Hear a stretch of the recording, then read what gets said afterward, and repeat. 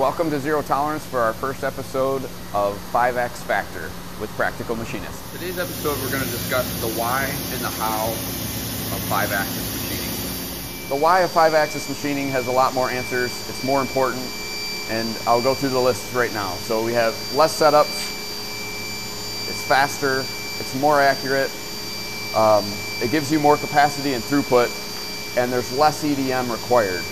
Now I know I like to learn to burn, but it is, it is a nice feature when you can get something done quickly and it's not necessary to make an electrode and make that feature in it, especially if you can get it done here on the five axis. The how is, is almost as important, but the very most important part of the how is the mindset.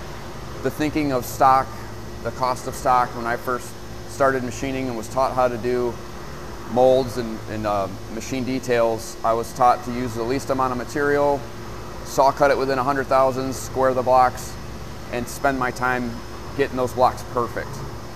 Today, we don't look at it that way anymore, and it's simply because our time costs more than the stock, and that was a mindset change.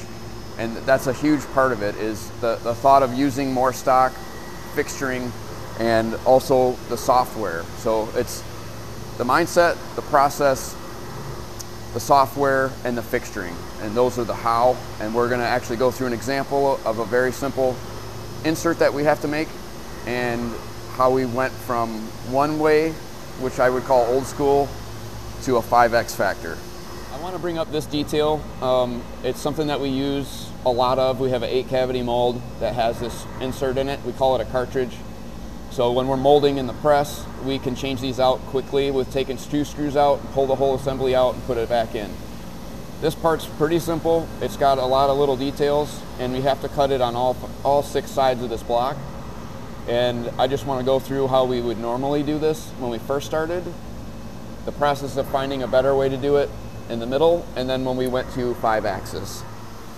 Normally we would take this block and we would literally square it on a vise, but even, even if you had to make five or 10 of these inserts, you would get a larger piece, you would square it up, and then you could saw cut it off and then actually mill it square. Make yourself a stop on the vise, drill the holes, set it up here, drill the holes this way, drill and tap these tiny 440 holes in here. Actually, I think they're 256, so they're even smaller than I'm, than I'm uh, remembering. But there's a lot of setups in doing them individually or even in a bar. But this is how we originally did. It got us through. And I don't recommend doing it like this anymore.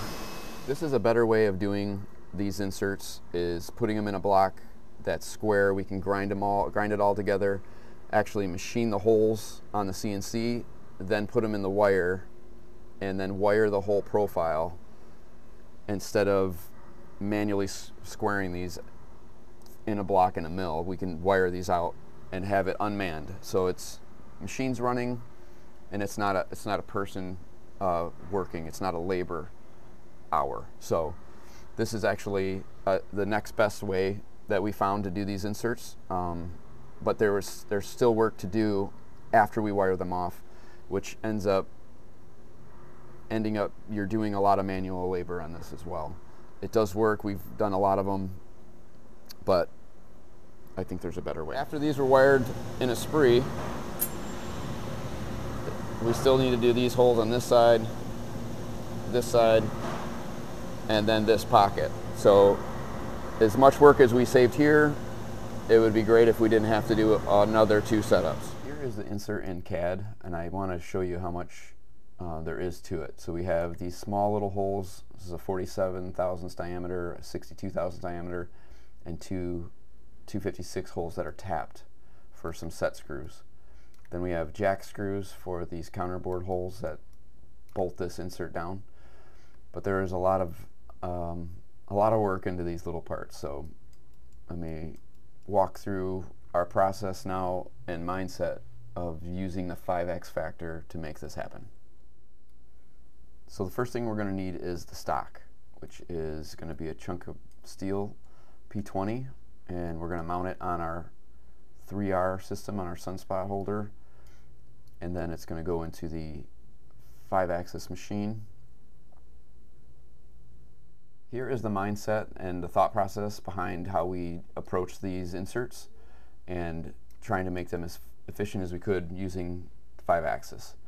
So in order to machine these pockets, we would need to rotate it, rotate the block on all four sides like this, and orientating them this way allowed us to get to all of the sides that need to be machined. This back side, which is an internal side, we don't need to do any work other than this top-down cut. So this was actually a really good way to make this work. Um, once we get through the first set, we are then going to use the wire EDM to wire off one row and then we're going to do the counter bores back on our 3R system or sunspot holder and we will be able to get through all of these inserts much faster, more accurate, and it's going to save us a ton of time in the end.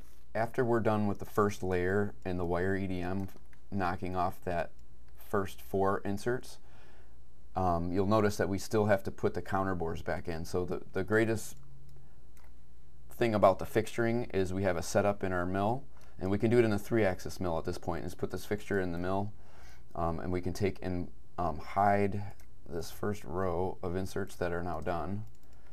And obviously it didn't grab all the surfaces, but you can see what I'm talking about here.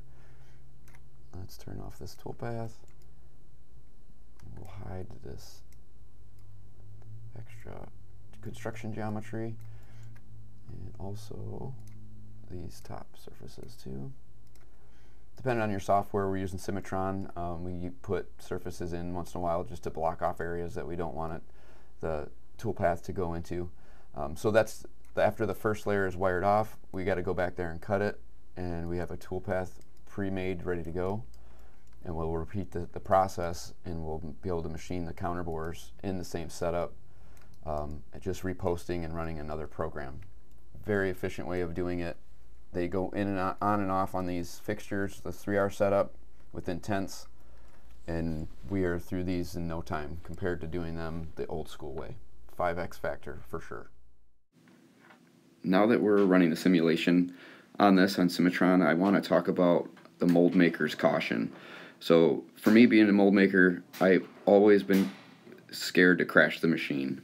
And having the simulation software is huge where you're getting in a hurry and you don't want to use it, it is a huge benefit, especially in five axis.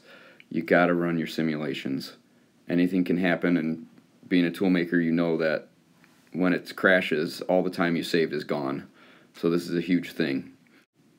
Now that we've done the simulation, it's time to press go, and that's where it is very critical that you have enough courage, that you can press go. You've done all your precautions that you can think of and we're going to let the machine do what it's supposed to based on the simulation. So from a mold maker's perspective, we're running hundreds of programs we run one time. We want to make sure that we err on the side of caution, but don't let it stop us from continuing. So if you notice in some of the machining that we will show is our tool change and our rotations, we always move the cutter out of the way. We're usually making one piece or one insert and we got to make sure that it's going to be perfect. If you've noticed, most of our cuts have been what's called 3 plus 2 5 axis, which is literally rotating and then using 3 axis machining um, in a 5 axis machine. So this is the majority of the work that you see, and mostly what we do, um, trying to hold high tolerance uh, mold components, inserts, and cavities and cores.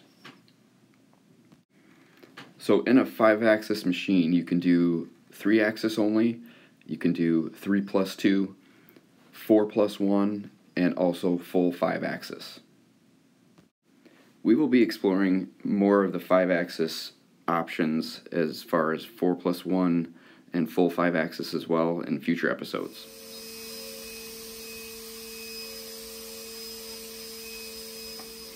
Like a kid getting a new toy, I want to do something fun with my son. I took a GrabCAD file of a Tesla truck, expanded it to the wood block, and we, for the first time, made a Pinewood Derby on our five axis machine.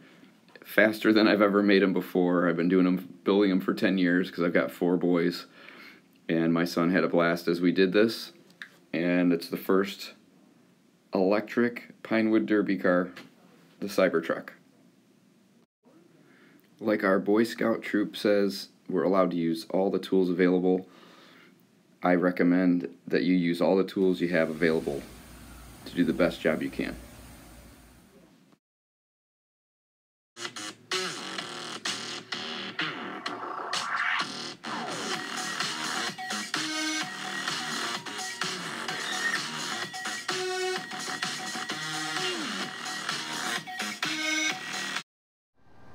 Thank you for joining us for our first episode of 5X Factor with Practical Machinists.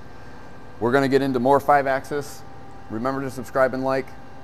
If you want to see something specific, please put it in the comments, and I hope you enjoy the next episode.